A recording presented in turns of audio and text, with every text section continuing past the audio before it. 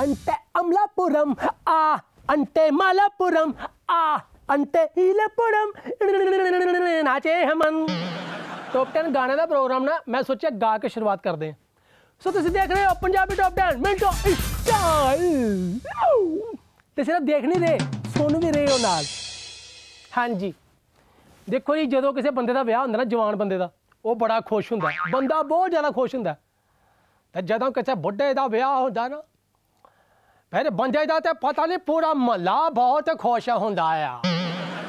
ਅੱਛਾ ਥੀਏਟਰ ਦੇ ਵਿੱਚ ਦੋ ਕੁੜੀਆਂ ਫਿਲਮ ਵੇਖਣ ਜਾਣ ਤੇ ਉਹ ਫਿਲਮ ਦੇਖਦੀਆਂ, ਆਰਾਮ ਨਾਲ। ਦੋ ਮੁੰਡੇ ਫਿਲਮ ਵੇਖਣ ਜਾਣ ਨਾ, ਉਹ ਫਿਲਮ ਨਹੀਂ ਦੇਖਦੇ, ਬਾਕੀਆਂ ਨੂੰ ਦੇਖਦੇ ਨੇ ਵੀ ਕਿਹੜਾ ਕਿਹੜਾ, ਕਿੱਥੇ ਕਿੱਥੇ ਬੈਠਾ, ਕੀ ਕੀ ਕਰਨ ਡਿਆ। ਤੇ ਜੇ ਇੱਕ ਮੁੰਡਾ ਤੇ ਇੱਕ ਕੁੜੀ ਦੋਵੇਂ ਇਕੱਠੇ ਜਾਣ, ਉਹ ਨਾ ਆਪ ਵੇਖਦੇ ਆ ਤੇ ਨਾ ਕਿਸੇ ਹੋਰ ਨੂੰ ਵੇਖਣ ਦਿੰਦੇ। ਆ। ਇੱਕ ਸਾਹਮਣੇ ਫਿਲਮ ਚੱਲਦੀ ਹੁੰਦੀ ਪਰਦੇ ਤੇ ਤੇ ਇੱਕ ਉਹਨਾਂ ਨੇ ਪਿੱਛੇ ਆਪਣੀ ਚਲਾਈ ਹੁੰਦੀ। ਨਹੀਂ ਰਹਿ ਹੁੰਦੇ ਇੱਕ ਮਿੰਟ ਆਇਆ ਇੱਕ ਮਿੰਟ ਹਲੋ